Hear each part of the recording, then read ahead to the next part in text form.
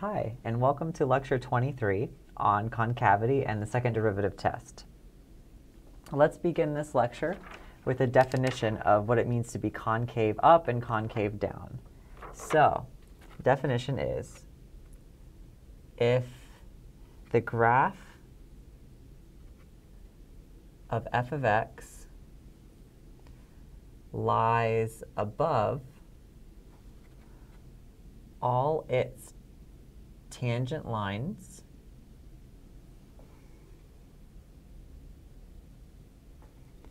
on an interval. Some interval, we'll just say it's i. Then f of x is concave upward on that interval i. So if you're drawing tangent lines to the curve and the graph is above every time, then we're concave up. And a similar thing can be said for concave down. So if, and this will be very similar, if f of x lies below its tangent lines um, on some interval i, so I won't rewrite the whole thing, we say f of x is concave downward, and that's our other definition. So I'll underline that. All right, I'll draw an example. So if the words don't make sense, the visual will hopefully make more sense. So draw something like this on your paper. It doesn't have to be the same thing. But here we have some kind of cubic graph. If you notice, if I draw a tangent line right here, maybe I'll use a different color for this as well. So let me switch to this color here. If you draw a tangent line right here on the curve, so remember tangent just touches the graph in one, at one point, this tangent line is above the graph. If you look on either direction here, we're always going to be above the graph right here.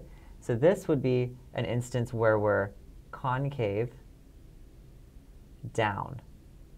Remember, concave downward here means that the tangent lines, um, if f of x lies below the tangent line, then we're concave downward. So this graph is below the tangent line here. And if I draw maybe a tangent line right here, so the, the pink lines are the tangent lines, then this one is concave up. And that's because the graph um, lies above the tangent line. Um, you can think about this as tangent lines, and that kind of helps you see what's going on. Another way I kind of view it as is if you took a section of the graph and if you imagined filling it with water, which and you put the water on top of the graph, which ones would the water run out and which ones would the water stay in? So if you're in this section of the graph right here, and you were to make like this cupping here, you would see that it would fill with water, so that's concave up. It's facing up here. And if you were to try to fill this portion with water, the water would actually just run off the graph. So it's cupping downward. So um, that's also concave down. So that's one way to look at it. I look at it as like cups, basically like cupping shapes. Um, but this tangent line um, equation works as well. Okay, so how do we test for concavity? Well, here is the test for concavity that we're going to use. So if f double prime of x is positive on some interval i, then f of x is concave upward. And then the other version of this is if f double prime is less than 0 on some interval i, then f of x is concave downward. And that's it. So for us, it's going to be um, the process of computing the second derivative for a given function, and then we're going to find all the x values that make it positive or negative. The first derivative tells you increasing, decreasing. Um, so the second derivative tells you something about the shape um, and how the, gra the graph looks um, like that. So let's do an actual example, just so we can practice doing this. So down here, we're going to do the following example. We're going to look at this. So determine the intervals where f of x equal to x cubed minus 12x plus 1 is concave upward and concave, concave downward. Okay, so this is a polynomial function. Um, it's an x cubed graph and it's positive, so it looks very similar to that one I have over there. It'll have some kind of shape like that, where you have a tail up and a tail down. So let's compute the second derivative because that's how we find out whether something's concave up or down. So let's take the second derivative. To do that, I'm going to take the first derivative first. So the first derivative of this is 3x squared minus 12. And if I continue to the second derivative, you get 6x. So what I'd like to do is I'd like to first set this equal to 0. So I'm going to say 6x is equal to 0, which means x is equal to 0. So at x equals 0, the second derivative is 0. And now we're going to test around that spot to find out where we're positive or negative. So let's look at this. Our test value here is just going to be 0, because that's where the second derivative is 0. Now we're going to test things into the second derivative. So test in the second derivative. So we're going to plug in our test values in there. We could test something like 1, and we could also test negative 1. So if you plug in 1 into the derivative or the second derivative, you get 6 times 1 is a positive number. It's 6. And then here, if you plug in negative 1, you get a negative number. So what does that mean?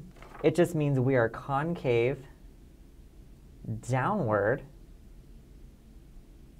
from negative infinity to negative 1, or sorry, to 0.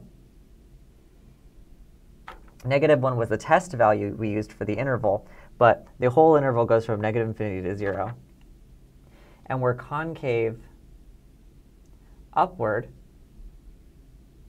from 0 to infinity, because we got a positive when we tested into the second derivative. However, I should ask the question, what happened at x equals 0? Right? It went from being concave down to concave up. So what's going on at x equals 0? And that's going to lead us to our next definition here. So the definition is if the sign of f double prime changes at x equals c, then we have an inflection point. So that's the, the definition. That's what we're defining here. An inflection point at c comma f of c. One thing I should warn you about is this needs to be defined, right? To have an inflection point on the graph, you need to have the actual point. So f of c must exist you need a point on the graph where the, where the concavity changed. So I hope that makes sense. You have to be able to plug in that point into the original. Let's look at this abstract example. So if I'm considering my tangent lines, it looks like I'm concave up here, and it looks like I'm concave up until right about here.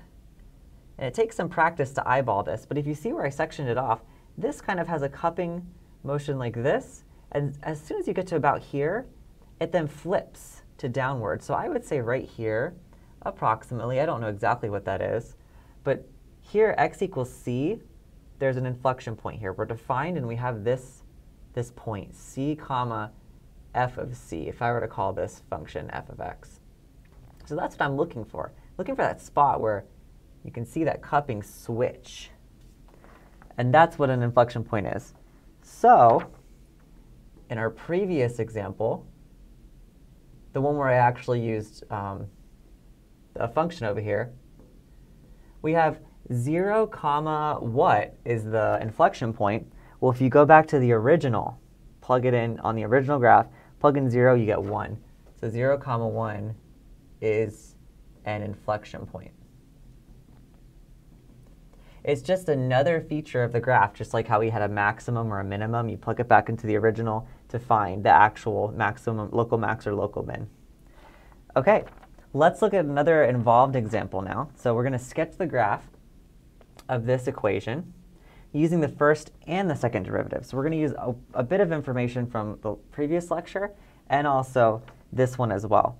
So using the first and second derivatives, I better find those. So my first derivative is going to be 4x cubed minus um, 4. So 4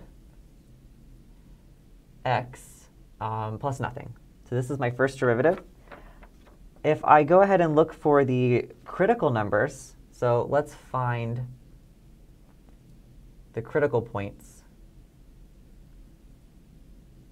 Those are important. So what I'm going to do is I'm going to set the derivative equal to 0. And this will mean I'll have 4x cubed minus 4x equals 0. I can factor out 4x. So that means 0 equals 4x, x squared minus 1. And if I factor this difference of squares, I get x minus 1, x plus 1. So my critical numbers, critical points here, are x equals 0, for this one, and then plus and minus 1 as well. I would also check where f prime of x is undefined, but it's always defined. So I don't get any additional critical points from asking the question whether f prime of x is defined or not. So these are my critical points. I'm going to go ahead and write down this interval here, and I'm going to split it up into four different sections based on the three critical points I got. And we're going to test, we're going to use f prime of x to test here. So I could test a number like 2, for example, in the first derivative. I could test a half. I could test negative a half.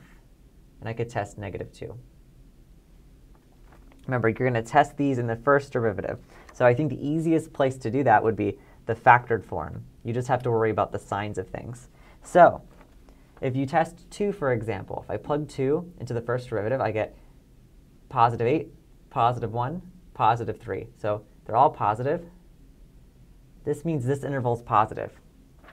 What you'll see when you plug in all the other ones is this one is negative, this one is positive, this one's negative. And if you remember me talking about this in class, that's because the powers of all of these factors are odd. So when you find one of these intervals, the sign just keeps flipping. Okay, so what does that mean? It means that, let me use a different color now. It means that on this first interval here, the graph is decreasing, because that's what the first derivative tells you. On this interval, it's increasing. On this interval, it's decreasing. And on this interval, it's increasing. And note, we have a polynomial, so our domain is all real numbers, so we don't have to worry about anything odd happening here. Okay, so we have this right here. What I could look for now is the second derivative. So let's do that over here. This already gave us a good bit of information, but we probably want to get the second derivative as well. So that'll be 12x squared minus 4 I'm interested in when that is positive and negative, so let's set this equal to 0 and try to solve this. So this is going to tell me that I have x squared equals 4 over 12, which is 1 over 3. So x equals plus or minus 1 over radical 3. Let's do another test here to test for the signs. Here is going to be negative 1 over radical 3. And this is going to be positive 1 over radical 3. So these are the two spots now where the second derivative was 0. And then the numbers I'll test, I'll circle, so I'll, I'll test 0. 1 over radical 3 is like 1 over 1.7-ish. So something that's certainly bigger would be something like 2. If you're not sure, just pick a, a very large number.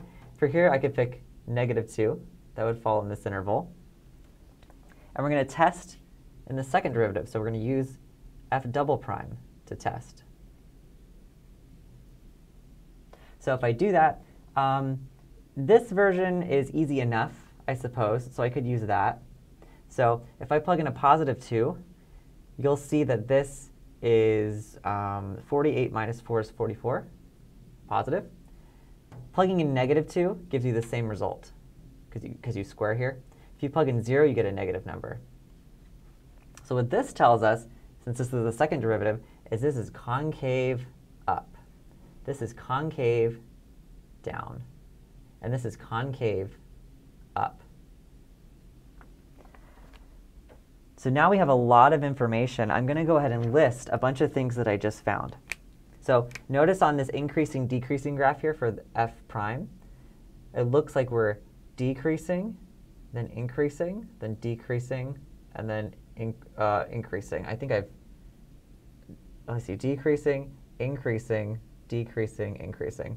So you can draw over this graph that I have here. And what you'll see is that we have the following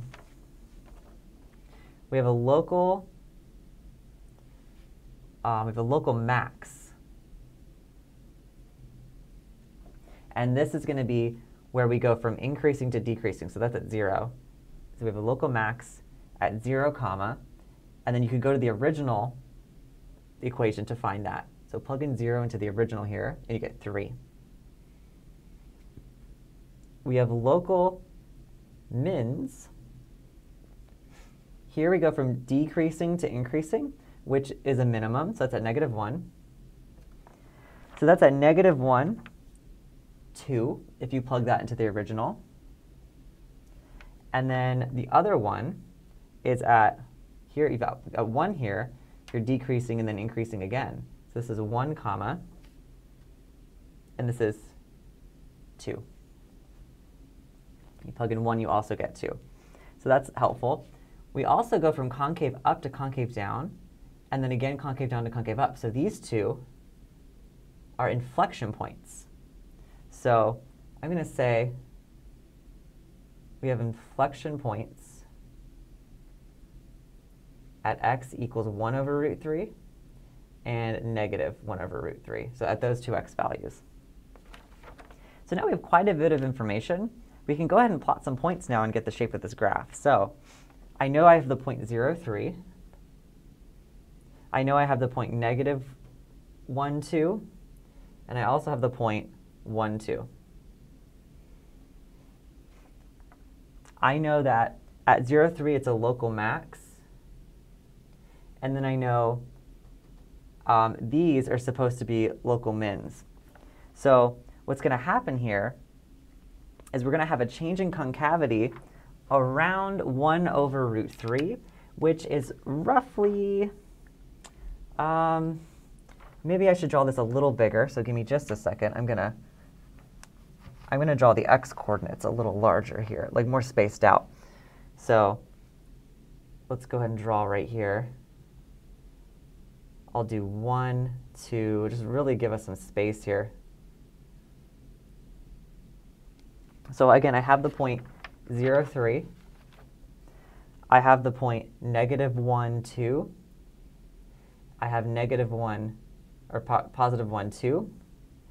1 over root 3, mm, that's going to be 1 over about 1.7. So I'll put this somewhere here. So I'll call this 1 over root 3. And I'll call this one minus 1 over root 3. So here's what our graph is going to look like. We have this goes down. Um, it's concave down from 0 to negative 1 over root 3. So I'm going to make sure that it, the graph is facing downward like this up until that point. And then after that, it flips to concave upward on either side. So it's going to look like this. It'll then switch and go like this. And then this one will switch and go like this. So we have a nice smooth um, transition here. and this is a local max, and these are local mins. The tails both go up this way forever because we have a positive x to the fourth. So when it's even, the tails both go the same direction up. Okay, um, I hope that was a helpful example to show you um, how all these different um, things work together to make the picture of the graph. We're going to do some more examples in the next part of this video, so see you soon. Okay, welcome back. So now we're going to talk about the second derivative test. So, um, with the following three parts. So if the derivative at c equals 0 and f double prime of c is greater than 0 and c is a, mm, I'll put it at the start here. So if these two things are true, if f prime of c is 0 and f double prime of c is 0, and I'm going to remind you that c is a critical point. So um, you would know that because right here, the first derivative of c gives you 0. So that's a way to get a critical point. So we have c is some critical point. The, double, the second derivative is positive. That means that f has a local min at x equals c. Okay, if we reverse this, so if we have f prime of c is 0 and the second derivative of c is negative, that means f has a local max at x equals c.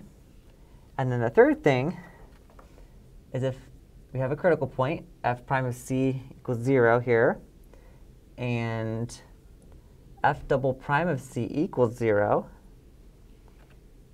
the test, this test here, the second derivative test, tells us nothing. And in this case, it might be a good idea to go look to other tests or other features of the graph. Do something else, uh, because this wouldn't tell you anything. All right, we're going to work through this last graphing example. So we're going to sketch the graph of f of x equals x times radical x plus 3, which is the same thing as x times radical, or x times x plus 3 to the 1 half power. That's how I usually write it. Okay, so let's compute the first derivative of f of x. So f prime of x is the derivative of the first is just 1, so I'm just going to rewrite x plus 3 to the 1 half. Plus, I'm going to leave x alone here, and the derivative of the second is 1 half x plus 3 to the negative 1 half, and then times x is the x here that I've left alone. So here's my first derivative. I would like to know when this is positive, when this is negative, so let's factor. So this means that this is equal to, both terms have the x plus 3 in common, and the smallest power is the negative 1 half. So I'm going to factor that out. 1 half minus a negative 1 half is the first power. Here I have plus 1 half x, because I've factored out this piece here. So if I set this equal to 0, and I move this to the denominator, I'm going to see that I have um, x plus half x is 3 halves x plus 3 over, and then this would be over the square root of x plus 3 equals 0. So how will this equal 0? Well, a fraction equals 0 when the numerator equals 0. So this means that the numerator should be equal to 0. And if we solve for this, we see that we have 3 halves x equals negative 3 and we're just going to get x equals negative 2. So this is one of our critical points. Is there an x value where the derivative goes undefined? There is, um, at negative 3. That's also in the domain of the original.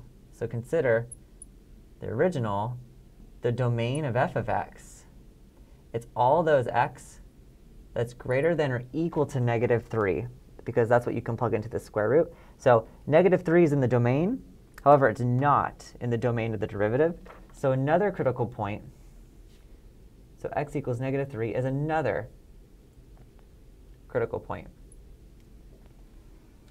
all right, I'm ready to find out where we're increasing and decreasing. So I'm going to have this negative 3 here because it's included in the domain, but none of this over here matters because it's not in the domain of the original. Then I'm going to also place negative 2 in here as well. And we're going to test two numbers. I'm going to test 0, and I'll test something like negative 2.5 as well. We're testing this in the first derivative. So the easiest version of that, hmm, that might be over here, where I've written it right here. So if you plug in 0, you get a positive over a positive. So this is a positive number, and we're increasing. If you test something like negative 2.5, in the denominator you still have a positive. Here, you would get a negative. So we're decreasing on just this interval from negative 3 to negative 2. So maybe I should summarize that. So we're decreasing from negative 3 to negative 2, and we're increasing from negative 2 to infinity. So that's what we have so far. What I could do from here is I can go ahead and take the next derivative, the, um, the second derivative, and that'll tell us some more about um, the shape of this graph. So let's go ahead and try to do that. So here I'm going to have, um, I think I'll go over here where I have some space. So let's rewrite this. Um, so let's take this here. Um, we'll do the product rule, actually, on the first derivative. So here's my first derivative. We're going to do the product rule. This will be my second derivative. So I'm going to rewrite the first one. That's x plus 3 to the negative 1 half. Derivative of the second one here, I get 1 plus a half. These, these are the only two things that contribute. So I get 1 plus a half. So the derivative of that is just 3 halves. Plus, let's switch the order now. So derivative of the first one is negative 1 half x plus 3 to the negative 3 halves. So that's the derivative of the first one. We're going to leave the second one alone, and I'm going to combine those like terms again. So this is 3 over 2 x plus 3. I would like to know when this is positive and negative, so I'm going to work on this a little bit just to, to figure that out. So if I'm looking at this, what do I see that's in common? I see that the x plus 3 to the negative 3 halves is in common. That's the smallest power of it. So we have negative 1 half minus 3 halves is x plus 3 to the positive 1. I'm going to multiply by this 3 halves. Then I have a minus sign from this minus 1 half. I have 1 half. I have factored out the x plus 3 to the negative 1 half here, so that's gone. And I have this, 3 halves x plus 3.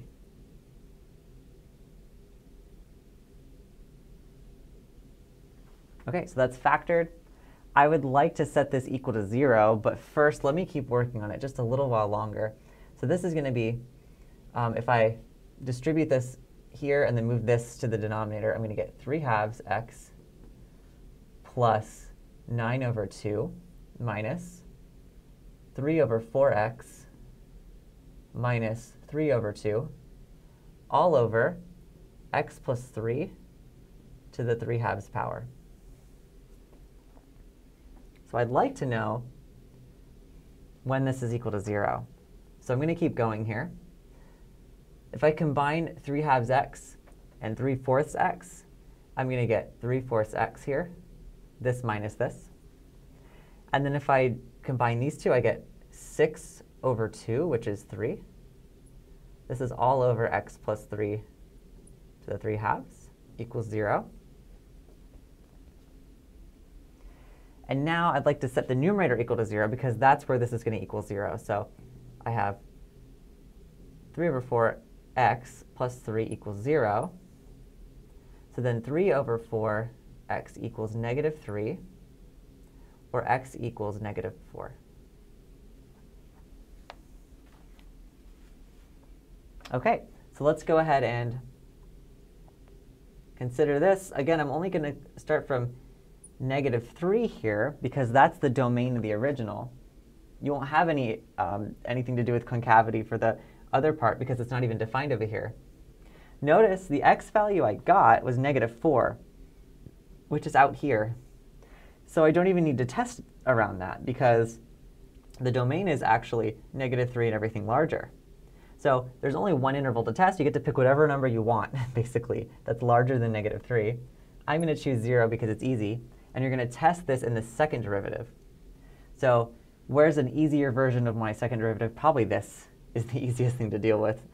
Um, so if you plug in 0 here, you get a positive number over a positive number. So this is the second derivative I tested. So what did I just figure out? I figured out that we're concave upward from negative 3 to infinity. So for the entire graph, the whole thing is concave upward. And we've seen graphs like that before, right? Like the parabola, standard parabola is always concave up. So we just showed that this is always concave upward. And now let me go ahead and draw the graph. Now that we know all this information, we know increasing, decreasing. Um, we know that when we go from decreasing to increasing, right here at negative 2, we have a local min at negative 2. Is the original function easy enough for me to plug that in? Let's see. So if you plug in negative 2, you get negative 2 times 1, which is negative 2. So we know we have a local min at negative 2, negative 2, because it goes from decreasing to increasing over here. All right, let's graph the thing. So um, at negative 2, negative 2, I have a local min. I know I'm concave up the entire time, so it's going to be this shape. Notice if you plug in 0, f of 0 is just 0. So I have the point 0, 0. And notice if you also plug in negative 3, you get 0 as well. And this is where the graph ends on the left side. You can't plug in anything to the left of negative 3. So the graph looks something like this. It's always concave upward. And it looks just like that. There's one local minimum here. OK, I hope that helped with, um, with more practice with concavity. The derivative was a little more complicated, but this is the process you should follow, um, especially this factoring step that I did here um, to find all the zeros. Let's look at this last thing here. So this is, we're going to say this is the uh, graph of f of x. So what I, I want to review something here. So we're going to say, or we're going to ask the following question. So where is f double prime of x positive? What does that mean? So if I'm looking at an original graph, graph, what does it mean for it to be positive? What that means is you should be thinking, where is f of x, the original, concave up? Those are the, those are the same thing. So I'm going to I'm gonna section those off with this pink marker. So here you're concave down because the tangent lines are above the curve. But once you get to about here, I would say, just like right there, all the tangent lines start to be below the graph. This one and this one and this one. So here I'm going to section off this piece right here. On this interval, we're concave up. So on this interval, f double prime is positive. The others flip back to being um, concave down again, if you notice. What if you were given the derivative to begin with? The same question. Where is f double prime positive? Positive. Well, that's the question. Where is the slope of f prime of x positive? So the second derivative is the derivative of the derivative, right? So I want the slope of this graph. So I'm asking the question here if I want the derivative, the second derivative to be positive, where is the slope of this one positive? So if you imagine you're walking from left to right, where are you walking uphill? That's where the slope is positive. So here's a section where you have to walk uphill. And then you're going down here, and then where are you increasing again? Right here. So you start increasing again from here to infinity. So it goes up like this. So in this section and in this section, the slope of this graph is positive. So on these two sections, you have f double prime is positive. So be careful what you're given. If you're given f or you're given f prime, um, to find the places where f double prime is positive, it's a different question for each of them. But I hope I've cleared that up. All right, thank you so much for watching and sticking with me here. Um, please go try your lecture quiz, and as usual, send me questions if you get stuck at all. I will see you next time. Bye.